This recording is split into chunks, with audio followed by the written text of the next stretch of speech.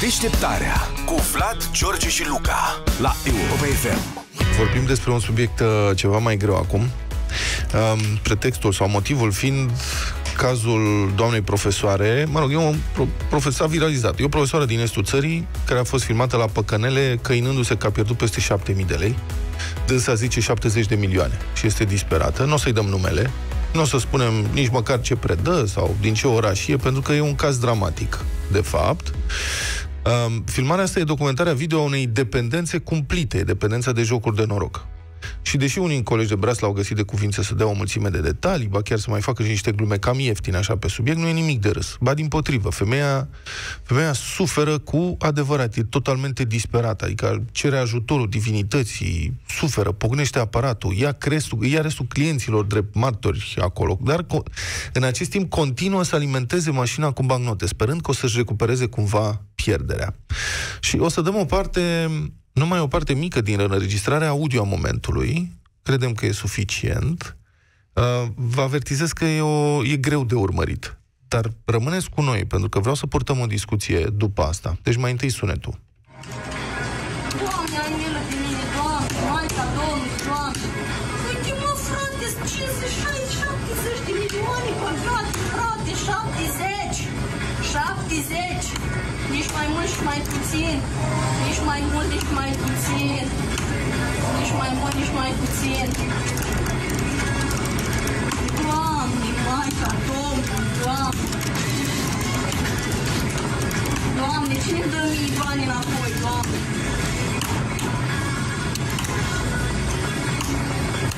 Doamne, cine dă mie bani înapoi? 70 de milioane, Doamne. Doamne,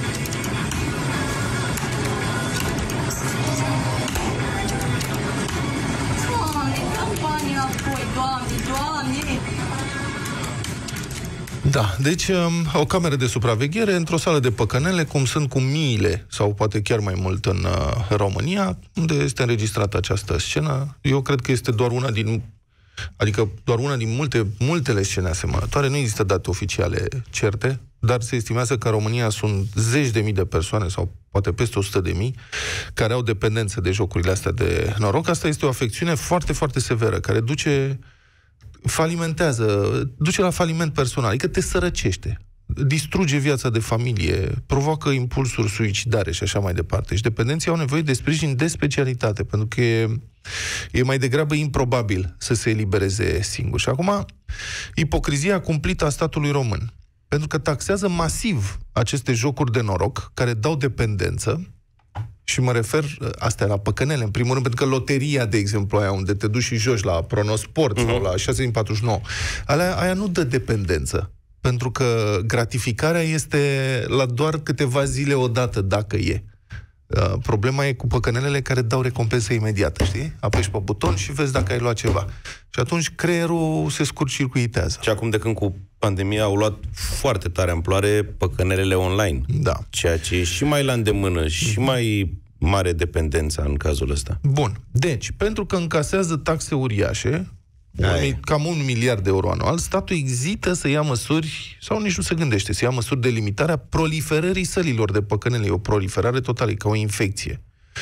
Sunt peste tot acum. Sunt mai dese ca stațiile de autobuz. Adică, sigur, sunt mai dese ca stațiile de autobuz în mediul rural, de pildă. Și, de fapt, cu cât e mai săracă comunitatea, cu atât mai bine merg sălile astea de păcănele, care sărăcesc și mai mult oameni, își distrug familii și provoacă tragedii teribile. Deci, aici suntem. Și acum întrebările la care noi vă așteptăm cu răspunsurile la 0372069599.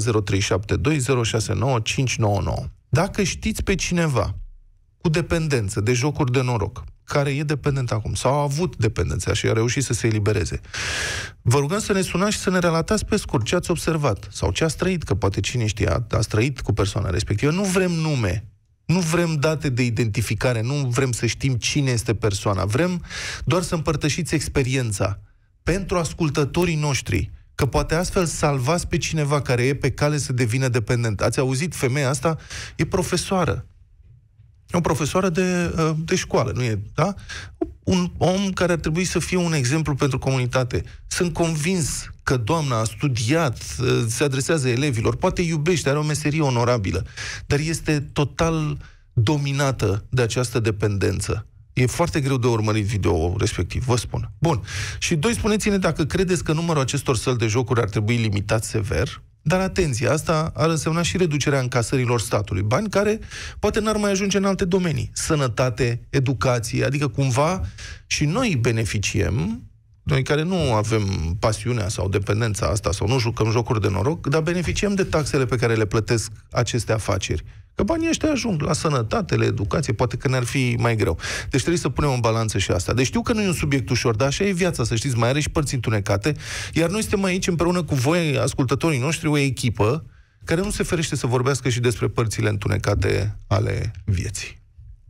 Tu știi pe cineva, domnul Luca, sau Zafă, știți pe cineva? Da, eu cunosc, cunosc oameni care sunt dependenți de jocuri și e foarte greu de ieșit din zona asta, adică chiar dacă i-am sprijinit mai mulți prieteni, știi, uh-huh. um, omul ăla la un moment dat se întoarce acolo, asta e problema. Într-un moment de plictiseală, într-un, într-un moment de slăbiciune în general, știi? Uh-huh. Pentru că e vorba de, cum am aflat și noi mai recent de la psihologi, că nu știam acum zeci de ani, de dopamină. Da, de nevoia de a găsi satisfacție foarte repede în ceva. Și jocurile astea îți oferă această dopamină. În cazul în care câștigi, în cazul în care pierzi, e mai nasol și intervine procesul ăsta, cum am observat și la această femeie disperată săraca. Uh, oamenii vor să recupereze banii. Uh-huh.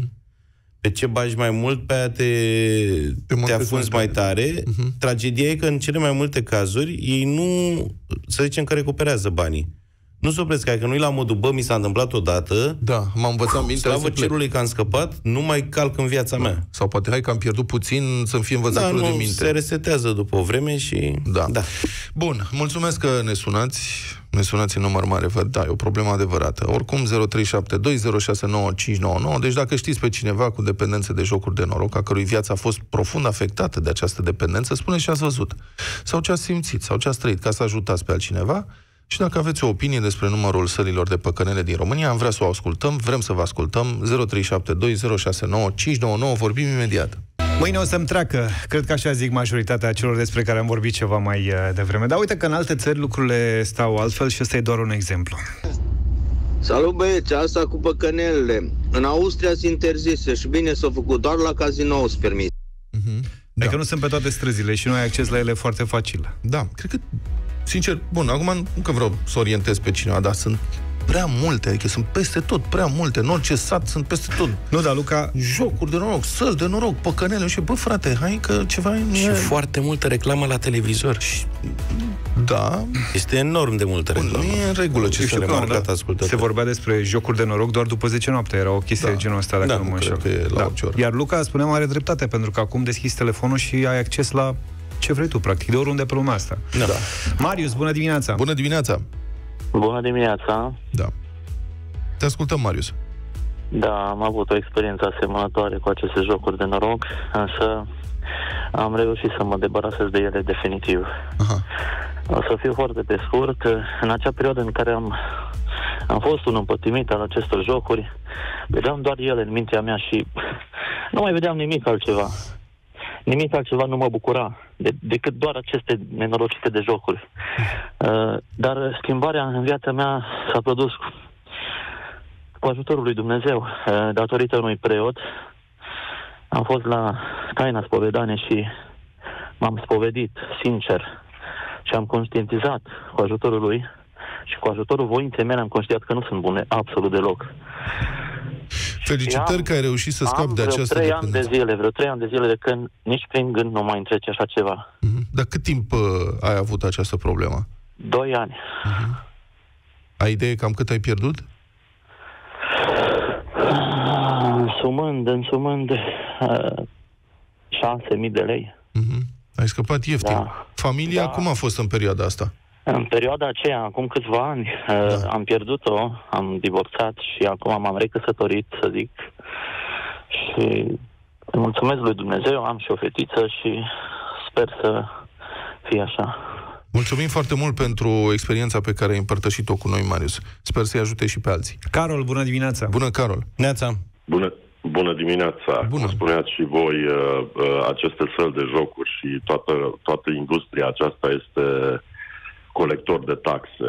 Ideea este până în momentul în care legiuitorul nu realizează că acele taxe se pot întoarce și sub altă formă în bugetul statului, nu se va întâmpla nimic. Putem să ne uităm la câteva țări din jurul nostru, de exemplu Ucraina, Rusia, Ungaria au interzis complet aceste păcănele și banii care erau în această industrie se întorc sub alte forme indiferent despre ce vorbim, uh, mâncare, băutură, îmbrăcăminte, orice altceva. Chestiunea este că se distrug foarte multe familii, se ajunge la suicid, la alte chestiuni. Vă spun din punct de vedere al uh, unui fost jucător. Până în 96 am fost jucător și ulterior am fost și organizator de jocuri de noroc. Și de ce ieși din domeniul ăsta? Pentru că totul este un hazard. Uh-huh și acești bani au o anumită încărcătură din cauza faptului că oamenii se împrumută, uh, copiii nu au ce mânca, familiile se distrug și așa mai departe. Asta e din ce vedeai sau din ce ai trăit? Din ce am trăit și din ce am văzut. Mm-hmm. Mulțumesc, Carol, pentru... Ah, mulțumesc pentru explicații și pentru experiența ta. Bună dimineața, Marian! Bună dimineața! Te ascult, Marian. Alo? Oare eu sunt? Da, da ești tu. Ești. Salut, te auzim foarte da. bine. Salut, salut. salut te auzea o voce și am crezut că e un alt Marian. No. Uh, aș putea să vă povestesc foarte, foarte, foarte multe. Probabil nu va ajunge. Am fost uh, aproximativ șase ani crupier, atât la ruletă cât și la aparate și am văzut oameni din toate mediile, de la profesori universitari, doctori, chirurgi, mm. și până la taximetriști și oameni de servici mm. care uh, terminau de curățat străzile, luau salariul, intrau în sala de joc și plecau acasă fără niciun ban după o lună de muncă. Da, uh, pentru că nu are legătură cu nu are legătură cu studii, e o da, dependență, exact. nu are legătură cu studiile. Nu are cu... nicio treabă cu studiile, cu uh, cât ești tu de puternic, cât nu. Uh, îți provoacă dependență și mai mult decât atât, uh, este un drog care nu te, dis- nu te omoară. Că dacă te-ar omorâ, poate că n-ar fi așa, dar te distruge, te, te face să fii din cea mai joasă speță uh, pe, pe, pe ierarhia mamiferelor. Marian, înțeleg că tu ai observat lucrurile astea traumatizante. Pe tine te-a încărcat cumva psihologic tot ce ai văzut? Din, din fericire, nu, nu. Nu pentru că nu sunt o fire foarte empatică, în primul rând, și, dar am colegi care au devenit la rândul lor dependenți. Am, o, am un coleg care s-a aruncat în cap dimineața când a venit, uh, cum le ziceam noi, casierii ca să ne citească casele. Uh, el juca împreună cu clienții. La un moment dat a pierdut uh, de tot uh, legătura cu, cu ce se întâmpla și nu mai știa câta. Și dimineața când i-a făcut casa avea o pierdere de aproximativ 20.000 de euro Acum, atunci era, cum zicea doamna aia, un miliard de lei. uh, și când a văzut cifrele, s-a dus să se arunce în cap. Era un cazinou cu două niveluri și de la nivelul de sus a vrut să se arunce în cap, noroc ca cineva a observat și a aruncat mâna pe el și l-a prins. Uh, am o poveste foarte, foarte terifiantă. Uh, soția unuia dintre jucători uh, a dus-o la maternitate, trebuia să nască, a venit, a jucat, uh, să se relaxeze a făcut foarte mulți bani. La un moment dat avea în jur de 3.000 de euro uh, în ruletă după ce băgase maxim 1.000 de lei. Nu s-a oprit, bineînțeles, că așa se întâmplă. Dimineața la 5 a cerut împrumut 5 lei să meargă cu taxi până acasă, a amanetat tot ce era în casă, tot. Deci vreau să... Uh, verighetele care erau în casă, uh, a vândut, pe vremea aceea existau, existau videouri și DVD-uri încă, le-a vândut covorul din casă. Cam la nivelul ăla se ajunge. Cu... Și nu știu, nu, nu, nu înțeleg. Care e părerea ta? Cu... Sunt foarte multe săli de astea de păcănele, jocuri de noroc. Care e părerea ta? Ce ar trebui făcut? Părerea, nu, nu-i doar o simplă părere, pentru că știu exact ce se întâmplă. Sunt două chestii care se întâmplă. Unul, sunt sălile care lucrează relativ legal, care, într-adevăr, atât cât scrie atunci, dacă intri într-o sală, în mod normal, pe, în sala respectivă e afișat. Uite, uh, aparatele astea uh, îți dau înapoi între 70 și 90% sau între uh, 30 și 40%, depinde cum în setate. În general, se- setate între 70 și 90%, că cu cât dau mai mult, cu atâta dependența devine mai rapidă și mai mare și se duce vorba. Pentru că chiar dacă îți dă 90% înapoi, dacă tu nu te, nu te, nu te lași, așa jucătorii nu te lasă, e doar o chestie de timp până îți lași toți banii acolo, nu uh, de, nu știu, de noroc sau de alte chestii. Da. Bun, mulțumesc foarte mult, Marian, pentru intervenție și pentru explicații teribilă experiență. Constantin, Neața. Bună dimineața, Constantin. Bună dimineața! Te ascultăm. Hai să vă spun o experiență proprie. În Da. da. 2016 mă întorsesem din străinătate, după șase luni de muncă. Am mers la o bancă respectivă, am scos banii lângă ce să vezi, un casino, că așa sunt așezate, tezauri, casino și bancă. Cum a spus și Luca de plictisel, am intrat într-un uh, casino să joc, știu eu, 500 de lei. La un moment dat când am numărat banii, jucase 15.000 de lei. Deja intrasem în sevraj.